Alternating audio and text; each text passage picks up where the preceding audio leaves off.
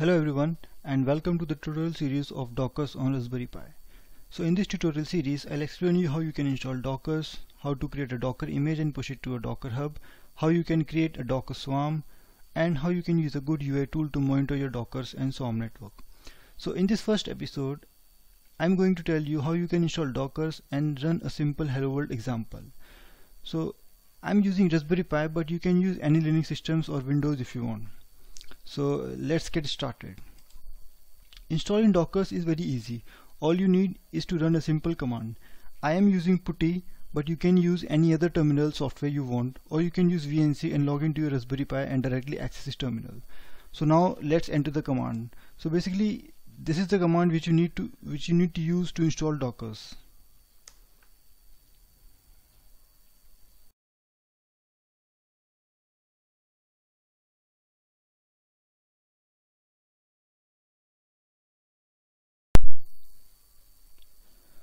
So the Docker installation is now completed. After this is done, you need to give Pi user permission to run Docker. So for that, run the command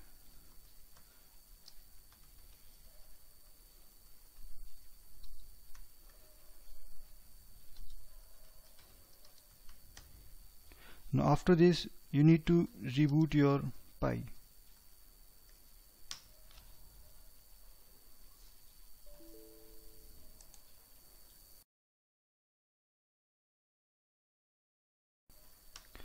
Now the Docker installation is complete.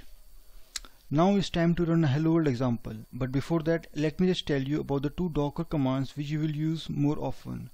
So one command is docker ps. What this command does is it lists all the containers which are currently running in your dockers. Another command is docker images. What this command does is it lists all the images currently installed in the dockers so as you can see at present we do not have any images or any containers running in our dockers. So now let's run a hello world docker image. Now what this command will do is it will download the hello world image and will install it and will run its container. So let's do that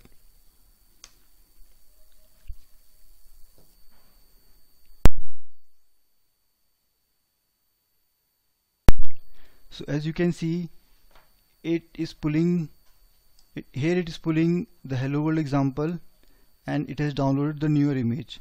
So looks like a docker installation is complete and it's it's successfully running. Now let's do docker image. So you can see our image is there which means that we have successfully installed the dockers. So this is about the first video. In the next videos I'll let, I'll tell you how you can convert your uh, Python code into a Docker image and how you can create your own Docker file. So thank you for watching this video. Please like, share, subscribe and comment if you have any issues. Thank you.